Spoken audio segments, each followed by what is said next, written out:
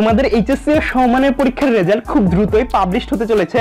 So আজকের ভিডিওতে তোমাদের দেখিয়ে দেবো তোমরা কীভাবে তোমাদের রেজাল্টটি পাবলিশ হওয়ার সাথে সাথে তোমাদের হাতে থাকা মোবাইল ফোনটি দিয়ে মাত্র এক মিনিটেই তোমাদের রেজাল্টটি সবার আগে দেখে নিতে পারো। তো তোমাদের রেজাল্টটি দেখার জন্য তোমরা তোমাদের হাতে থাকা মোবাইল ফোন অথবা তোমাদের কম্পিউটারে যে কোনো একটি ব্রাউজারে প্রবেশ করবে।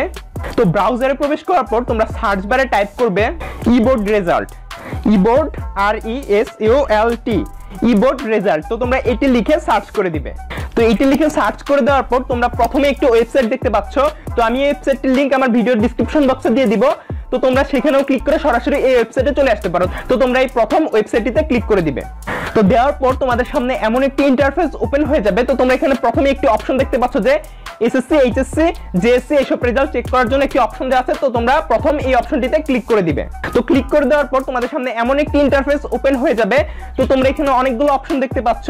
তো তোমরা প্রথমেই তোমাদের যে এক্সামিনেশন অপশনটা আছে, তোমরা এই অপশনের পাশে একটি ডাউন অ্যারো চিহ্ন দেখতে পাচ্ছ, ডান পাশে নিচের কর্নারে তো তোমরা ডাউন অ্যারো চিহ্নতে ক্লিক করে দেওয়ার পর তোমাদের সামনে কিছু অপশন ওপেন হবে। এখান থেকে তোমরা যে রেজাল্টটি দেখতে চাচ্ছ, সেটি ক্লিক করে দিবে। তো তোমরা যেহেতু এসএসসি রেজাল্টটি দেখবে, তাই তোমরা এসএসসি তে ক্লিক করে দিবে। দেওয়ার পর তোমরা এখান থেকে ইয়ারটি সিলেক্ট করবে। তো তোমরা যেহেতু দুই হাজার বিশ সালের রেজাল্টটি দেখবে, তাই এখান থেকে তোমরা দুই হাজার বিশ সিলেক্ট করে দিবে।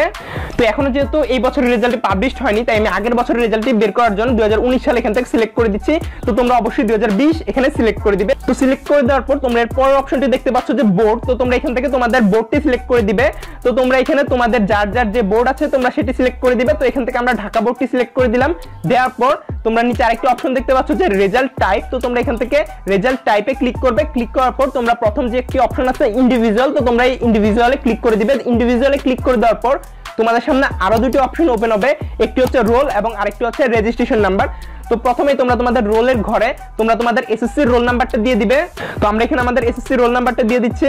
তো দিয়ে দেওয়ার পর তোমরা নিচের অপশনে চলে আসবে, নিচে দেওয়া আছে তোমাদের রেজিস্ট্রেশন নাম্বার তো তোমরা এখান থেকে তোমাদের রেজিস্ট্রেশন নাম্বারটি সিলেক্ট করে দিবে। তো আমরা এখানে আমাদের রেজিস্ট্রেশন নাম্বারটি দিয়ে দিচ্ছি।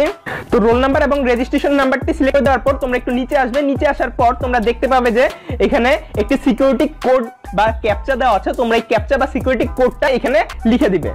তো সিকিউরিটি কোডটি লেখা হয়ে গেলে তোমরা নিচে জাস্ট দেখতে পাচ্ছ যে তোমাদের গেট রেজাল্ট নামে একটি অপশন দেওয়া আছে, তোমরা এই গেট রেজাল্টে ক্লিক করে দিবে।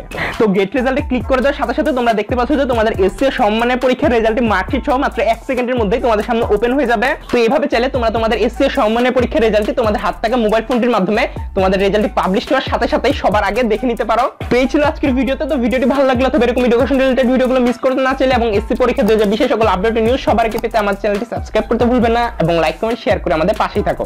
তো সবাই ভালো থাকো সুস্থ থাকো আসসালামু আলাইকুম।